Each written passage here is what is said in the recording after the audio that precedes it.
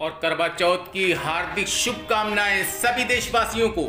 अखंड सौभाग्य के वरदान और पति पत्नी में समानता का प्रतीक, पर्व करवा चौथ की हार्दिक शुभकामनाएँ सभी देशवासियों को। और केजीएन इंडिया न्यूज़ में आपका स्वागत है। अगर आप हमारे चैनल पर नए हैं तो इस चैनल को सब्सक्राइब ज़रूर करें और बेल आइकन को दबाना ना भूलें ताकि आप कोई भी नई वीडियो का अपडेट मिस न कर पाए।